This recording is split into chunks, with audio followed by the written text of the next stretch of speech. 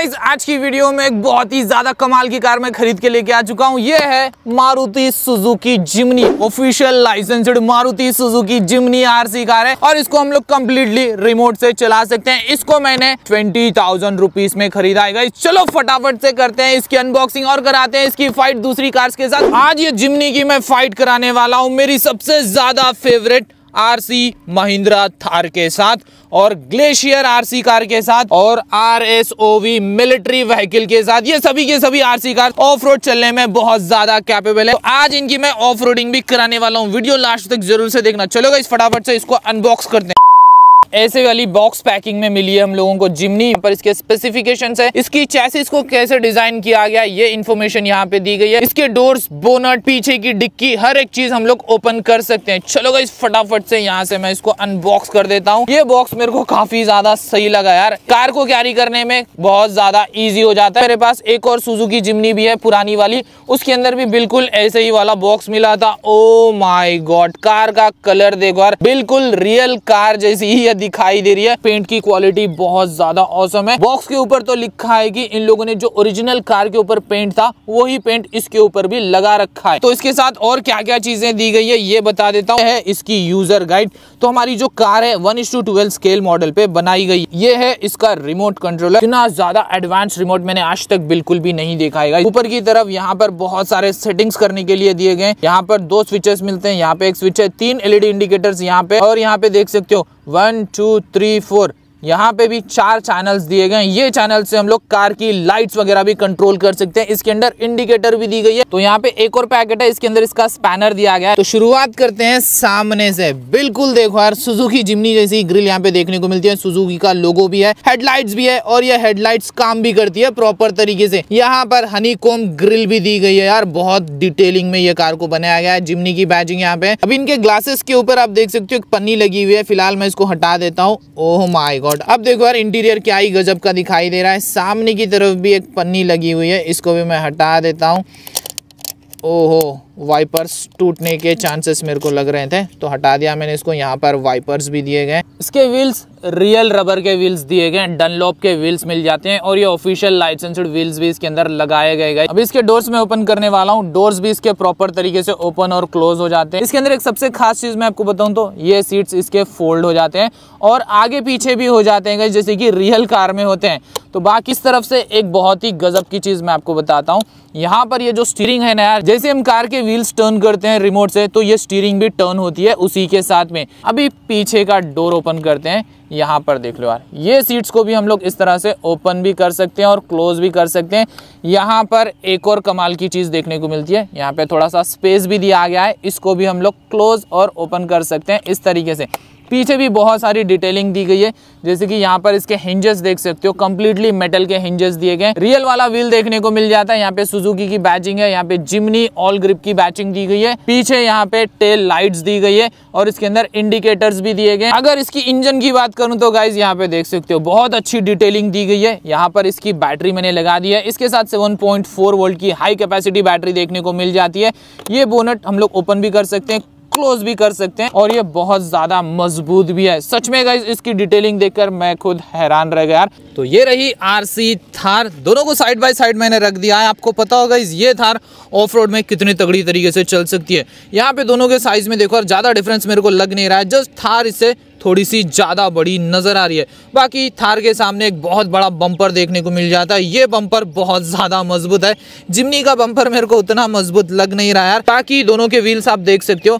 इसके व्हील्स थोड़े से हार्ड है। इसके व्हील्स रियल कार जैसे ही दिखाई देते हैं। ये आरसी थार के अंदर ज़्यादा डिटेलिंग नहीं दी गई है। सिर्फ़ इसके इंडिकेटर्स और लाइट्स वगैरह काम करते हैं। बाकी इसके अंदर बहुत सारी डिटेलिंग दी गई है। इस वजह से इसका कॉस्ट भी ज़्यादा है। ये आरसी थार को मैंने सिर्फ़ सेवन थाउज़ेंड में खरीदा था। इसके अंदर भी स्टीयरिंग वगैरह दी गई है ये सभी कार्स को मैंने यहाँ पे रख दिया है। खास तौर पे जिमनी और आरसी थार कितनी ज़्यादा रियलिस्टिक दिखाई दे रही है, आप देख सकते हो। बाकी ये दोनों कार्स भी बहुत ज़्यादा तगड़ी है। चलो भाई सबसे पहले आरसी जिमनी को चला के देखते हैं।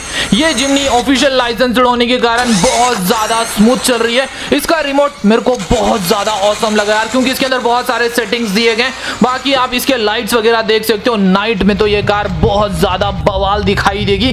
खासतौर पर इसका जो ओरिजिनल पेंट है ना भाई, ये कलर में कार बहुत ज़्यादा तगड़ी मेरे को लगती है। अब आरसी थार को टेस्ट करके देखते हैं। ये कार की रोड प्रेजेंस बहुत ज़्यादा औसम है और ये कार काफ़ी ज़्यादा बल्कि भी दिखाई देती है। अब मैं रेस कराने वाला हूँ RC Jimny versus RC glacier truck के बीच में। देखते हैं इन दोनों में से कौन जीता है। जिमनी का मैंने अभी तक फ़र्स्ट गेयर ही डाल के रखा है यार। इसने तो बहुत आसानी से ग्लेशियर को ओवरटेक कर लिया है और ये बहुत ज़्यादा आगे निकल गई है। मेरे को नहीं लगता ग्लेशियर इसको ओवरटेक कर पाएगा। अब रेस कराते हैं RC Jimny versus RC Thar के बीच में देखते हैं जिन दोनों में से कौन जीता है। आरसी जिमनी आगे निकल गई थी, पर आरसी थार ने इसको ओवरटेक कर लिया आसानी से। अब जिमनी के अंदर मैंने सेकंड गियर भी डाल दिया है। ये फिर भी आरसी थार के बराबर में नहीं आ पा रही है। आरसी थार बहुत ज़्यादा औसम तरीके से चल रही है। अब दोनों को चलाते चलाते मैं ऑफ़ रोड में लेके आ चुका हूँ। ऑफ़ रोड में देखते हैं कौन जीता है। थार तो भाई बहुत खतरनाक तरीके से ऑफ़ रोड में चल सकती थी, पर यहाँ पे पूरी तरीके से गेम चेंज हो चुकी है। जिमनी इससे भी तगड़े तरीके से चल रही है, क्योंकि इसके अंदर सस्पेंशन बहुत स्मूथ है और ये कार हल्की फुल्की होने के कारण ऑफ़ रोड में बहुत ही औसम तरीके से चल रही है। यहाँ पे आरसी थार पूरी कोशिश कर रही है आगे जाने के लिए, पर आरसी जिमनी यहाँ पर जीत चुकी है। क्लियरली आप देख सकते हो इस रोड पे जब मैंने रेस कराई थी आरसी थार जीत गई थी और यहाँ पे जब मैंने रेस कराई थी तो ये जिमनी ने भाई सारे के सारे रिकॉर्ड्स तोड़ के रख दिया है और ये जीत चुकी है आरती धार को हरा के। ओके, अब ऑफ़ रोड में रेस कराते हैं। Military special vehicle versus Jimny के बीच में देखते हैं इन दोनों में से कौन जीतता है। ये मिलिट्री स्पेशल व्हीकल सिर्फ़ ऑफ़ रोड में चलाने के लिए ही बनाई गई है। इसके व्हील्स काफ़ी ज़्यादा छोड़े हैं और इसका भी सस्पेंशन काफ़ी ज़्यादा स्मूथ है। पर मेरे को नहीं लगता है ये मिलिट्री व्हीकल जीत पाएगी जिमनी से, क्योंकि जिमनी का वज़न बहुत ज़्यादा कम है। देखो, ये कार बहुत ज़्यादा आगे निकल गई है। बहुत ज़्यादा उबड़ खाबड़ ज़मीन पे भी और पत्थरों में भी। ये बहुत औसम तरीके से चल रही है मैं तो फ़ैन हो गया जिमनी का। अब जिमनी की आमने सामने वाली फाइट कराते हैं ग्लेशियर ट्रक के साथ। देखते हैं इन दोनों में से कौन जीतता है। जिमनी ने इतनी ज़ोर की टक्कर लगाई है ग्लेशियर का। बोनट खुल गया है पूरी तरीके से। जिमनी इसको धीरे धीरे करके पीछे ढकेल रही है आरसी ग्लेशियर ट्रक पूरी तरीके से ब्रेक लगाकर इसको रोकने की भी कोशिश कर रहा है। फिर भी जिमनी ने इसको हरा दिया है पुशबैक में।